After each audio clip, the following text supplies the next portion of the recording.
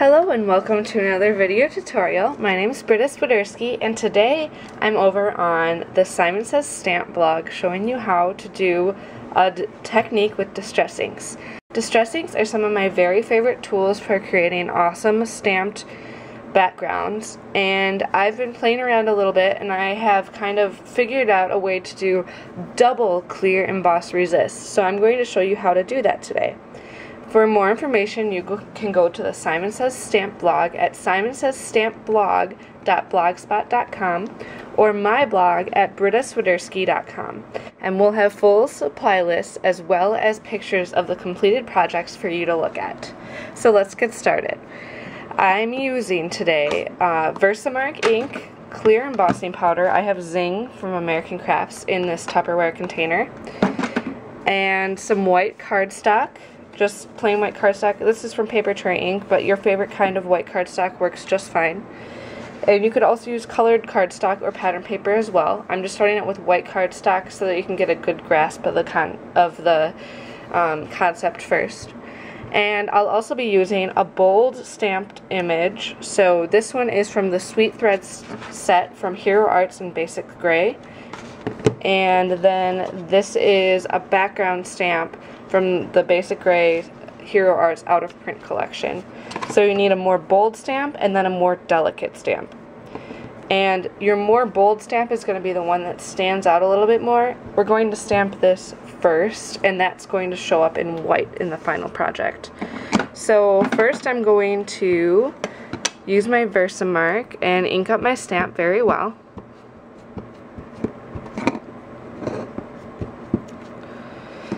And then stamp it randomly across the paper. I'm going to stamp it about three times just for a good triangle, visual triangle effect. And I find that this is a really nice number that'll give it nice, good balance and will look good every time. And just try not to overlap your stamped images for now. Now I'm going to sprinkle on the embossing powder and just make sure it's well covered and that you tap off the excess when you're done. Now that I'm flicking off the excess here, and you can do that by just tapping your fingers on the back of the cardstock, you can go ahead and emboss it and emboss it until your clear embossing powder turns clear and there's no more granular look to the embossing powder. It's completely clear and smooth. Now that I have my piece embossed, as you can see here, it's nice and smooth, does not come off when I touch it. It's going to resist the distress ink that I put on it. So I'm using four colors on this project. I have Tumbled Glass and Broken China. And then I also have Faded Jeans and Chipped Sapphire that I will use on my last layer. So I'm going to bring out my Tumbled Glass and Broken China and start by covering my entire piece in Tumbled Glass.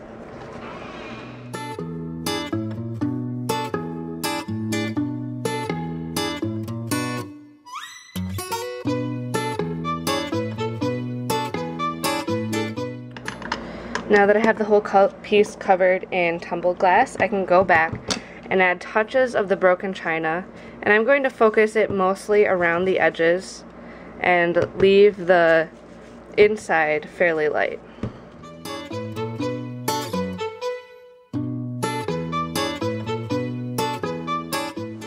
Now this is a really important step. You want to make sure that you dry this completely before you add more stamping and embossing on it.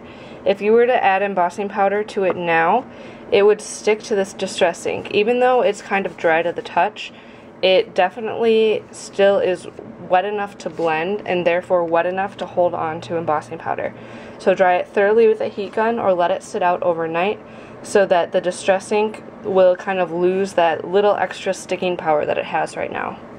So I'll be back in a second after I dry this with my heat tool. Now that I've dried my piece of paper with my heat tool, and you can tell that it's dry because it feels exactly like the back does. Completely smooth, not damp at all. And this is exactly the texture that we needed in order for this technique to work. I'm going to go ahead and ink up my background with Versamark ink.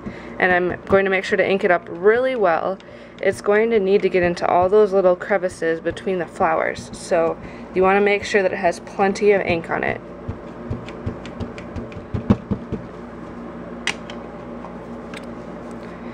Then we're going to go ahead and set our piece down on the background.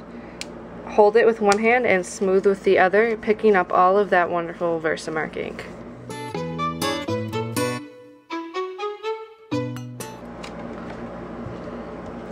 And you can see it a little tiny bit on here, but it's not going to really show up until you add the embossing powder on top. So you can grab your clear embossing powder again, and very carefully add on embossing powder over where you just stamped. So now you can see I have the embossing powder on here and it's perfect. I love this stamp so much. And that drying in between with my heat gun really helped to make sure that the embossing powder didn't stick to any areas it wasn't supposed to. So now I just need to run my heat gun over this again and emboss that wonderful background stamp. You can see now that I have embossed it and it, although it looks really cool like this, we're going to make it look even cooler by adding some faded jeans and chip, fire, chip sapphire distress ink over the top. And so now, this is where the magic really happens. Because we stamped in the bolder image first, it still shows the way that we originally intended it, but now this pattern is showing up in the background. So it's a little bit counterintuitive that you have to stamp the background second, but once you get the hang of it, it just looks completely fantastic though.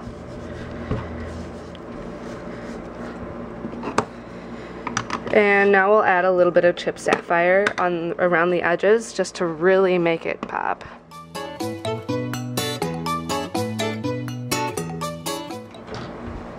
Your last step here is to spray a Kleenex with a couple spritzes of water and then just use that to get all of the excess ink off the embossing. And this will make it especially shiny and will buff up that white to make it really, um, just really vibrant. So here we have our double clear embossed background. Doesn't it look wonderful? So I'll be back in a second to put together a card with this awesome background. So I've decided in order to make this card really work and to show off this background, I want to keep it really simple. So I'm just going to mount it on some kraft cardstock and then have my sentiment in kraft as well by stamping these letters from Quinn's ABCs to spell out thank you.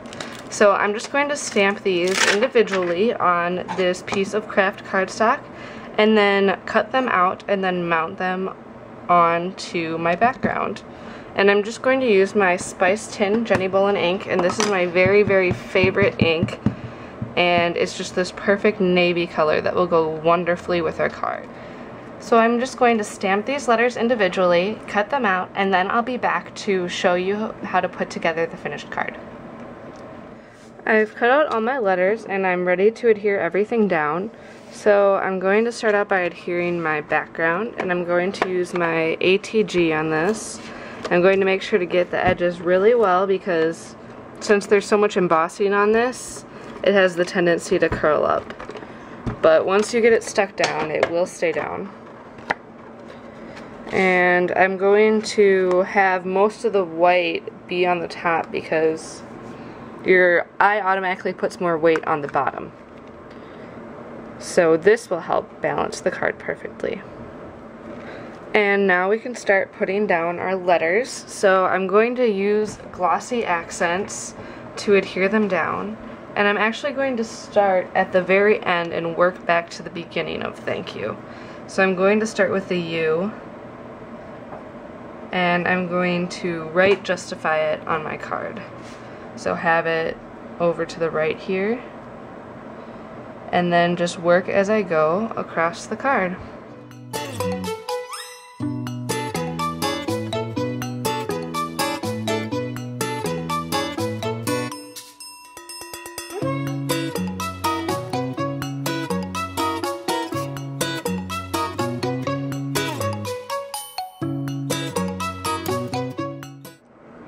Now that I have my letters adhered down, as you can see here, I think I want a little bit something extra to offset my words.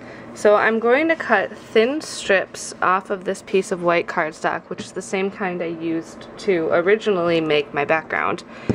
And I'm going to use my Tim Holtz ruler, and this is really great for making thin strips because you can easily measure and see how thick you're cutting a strip and make sure that it's completely even. So I'm going to measure 1 8 of an inch, which is just the, up to the first dotted line here hold it down really carefully and then use my X-Acto knife to lightly go over it two or three times until it's cut through.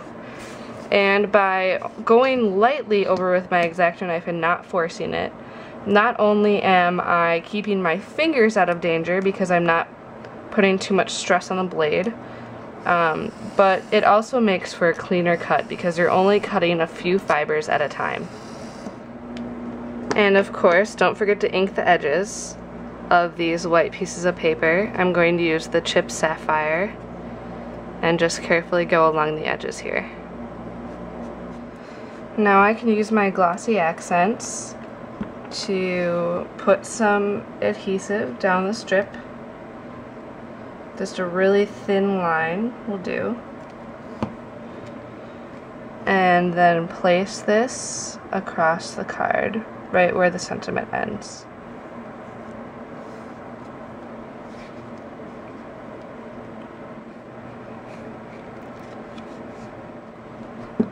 Now that I have those strips down, I can just take off the excess with my pair of scissors.